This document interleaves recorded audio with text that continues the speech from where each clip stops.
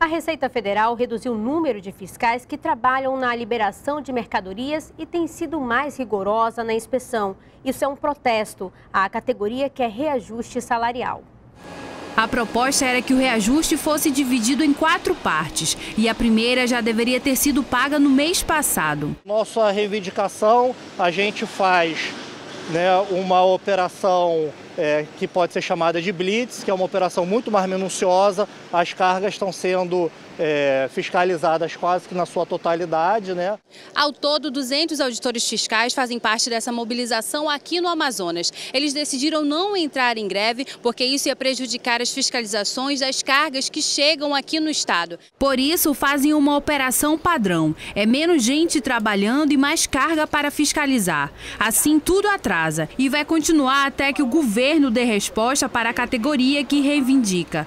O projeto de lei que reajusta os salários é discutido há um ano e meio em Brasília e foi assinado em março deste ano. E a gente aguarda é, essa definição, sendo que o governo federal desde 29 de julho de 2016, ele já aprovou né, o reajuste de mais de 80% dos servidores do Executivo Federal. A mobilização é nacional.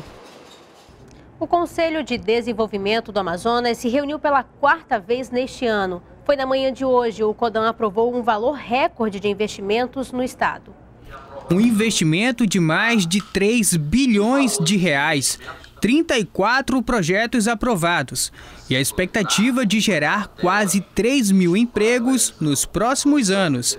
Esse foi o resultado da reunião de hoje. Essa pauta de hoje é também um, um, indicativo de que a indústria passa a investir um pouco mais, passa a acreditar um pouco mais. Os projetos vão ser implantados no Polo Industrial de Manaus entre eles o que tem o maior recurso, de mais de 2 bilhões, de uma empresa de informática. Há uma tendência muito boa no sentido de consolidação do polo de componentes para a informática, especialmente na produção de placas, onde nós já somos o maior fabricante do Brasil.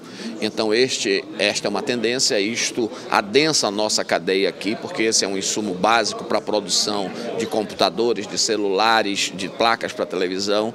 Esta foi a quarta reunião do CODAN neste ano. Até aqui o Conselho aprovou o investimento de mais de 6 bilhões de reais, divididos em 145 projetos. A expectativa é de que eles gerem mais de 10.200 postos de trabalho. Apesar disso, o momento ainda preocupa. O Estado arrecadou até agora um bilhão a menos do que no ano passado e o número de desempregados na indústria passa dos 50 mil. A reunião do CODAN é realizada a cada dois meses. As empresas que têm as propostas aprovadas recebem incentivos fiscais, como descontos no ICMS, Imposto sobre Mercadorias e Serviços. Os descontos variam de 45% a 90%. O Grupo Raman Neves de Comunicação foi homenageado hoje na Assembleia Legislativa do Estado pelo aniversário da TV em Tempo e do jornal Amazonas em Tempo. Foi em sessão especial a homenagem ao Grupo Ramaneves de Comunicação pelo aniversário da TV em Tempo e do jornal Amazonas em Tempo.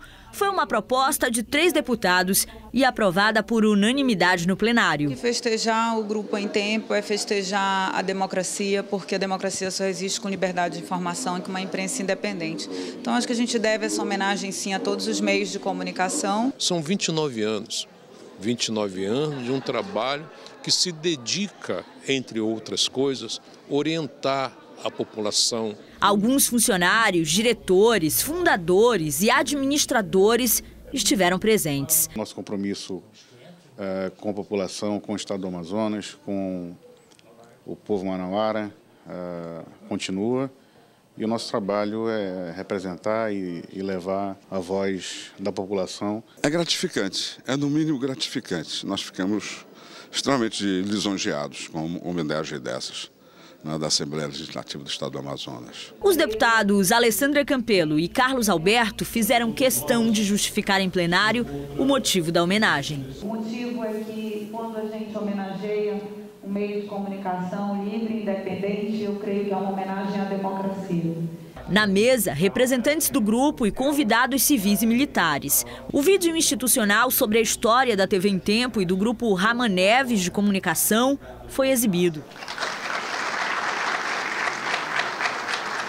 destacou os outros veículos, como os jornais impressos. Jornais impressos, em tempo e agora. Os representantes do grupo receberam o certificado de honra pelos serviços prestados e reafirmaram o compromisso de continuar a contribuir com a sociedade amazonense. A gente só é instrumento, a gente está ali trabalhando, fazendo um serviço público. A TV em Tempo completa nove anos e o jornal Amazonas em Tempo 29.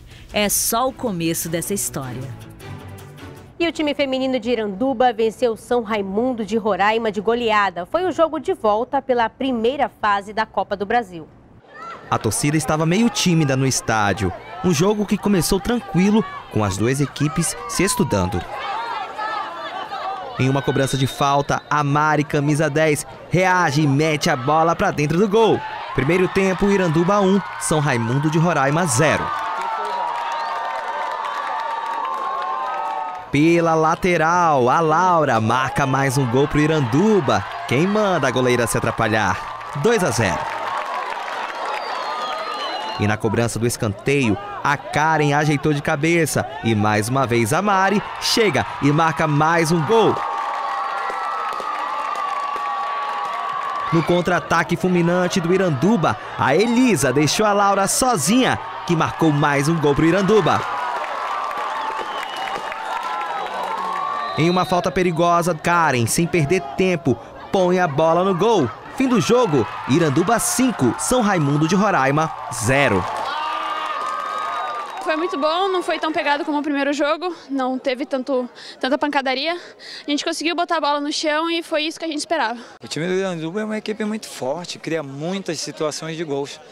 Agora a gente tem que trabalhar essa componente aí, né, um pouquinho mais para que as meninas tenham mais calma, na, tenham mais frieza na hora de finalizar. Você viu a quantidade de gols perdidos e num jogo mais equilibrado, os gols perdidos fazem muita falta. Agora o Iranduba encara na próxima fase o vencedor do duelo entre Crespon do Distrito Federal ou Aliança de Goiás o treino da seleção brasileira no sábado. Ele vai ser aberto e hoje os torcedores enfrentaram uma longa fila para trocar alimentos perecíveis pelos ingressos. O Brasil enfrenta a Colômbia no dia 6 de setembro na Arena da Amazônia. Olha o solzão, 35 graus. Era qualquer coisa para fugir do calor. Para cobrir a cabeça, um guarda-chuva, até um livro. Mas eles estavam lá. O José, quebrou o braço, mas veio trocar os alimentos para assistir ao treino do Brasil no sábado. Segundo ele, tudo vale a pena, né? A gente não teve é, não teve condições de comprar o ingresso, a gente veio aqui para ajudar também, né? Dando alimentos para as pessoas. É, é ajudar um e também se ajudar. É, verdade. A troca começou às 10 da manhã. Uma fila quilométrica se formou. Claro, eram só 15 mil ingressos disponíveis. Cada entrada valia 2 quilos de alimentos não perecíveis. Esse torcedor já sabe quem vai ver no dia do treino. Neymar, Gabigol, Gabriel Jesus, Daniel Alves, Marcelo, tudo que tiver eu vou ver. Vale a pena ficar na fila? Vale. Vale a pena porque meu filho vai fazer aniversário é, semana que vem e eu quero presentear ele mesmo com o treino, né? Eu vinha pro jogo, mas não vai dar, então vou vindo pro treino. E olha, teve gente que lucrou com o movimento. Seu Ari, por exemplo, vendeu muito picolé. Porque é difícil a, a, a seleção brasileira ter a oportunidade para ver o Neymar que é a maior expressão do futebol brasileiro, do futebol mundial, o Neymar. Alguns venderam até alimentos não perecíveis. Um quilo de arroz custava cinco reais. Apesar da redução do ingresso de 5%, teve gente que preferiu só assistir o treino mesmo. Se você pensa que eles só vão querer ver dribles e estratégia de jogo, você está muito enganado, viu? A principal atração é o Neymar. Neymar? O quê? Que o cara joga. O cara é bom. É mesmo? Daqui a pouco o Messi que já não envelhece, aí vai ser melhor do mundo, entendeu? O cara é fera. Neymarzete de carteirinha, a Valéria já mandou até um recado para as inimigas. Se liga, Marquezine. Mas não tenho dúvida, a virada vai começar aqui em Manaus. Nós estamos preparando uma série de surpresas aí pro dia do jogo.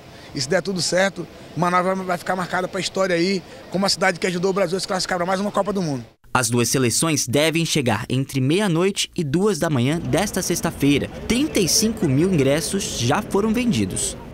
O Jornal em Tempo pela internet fica por aqui. Até a próxima.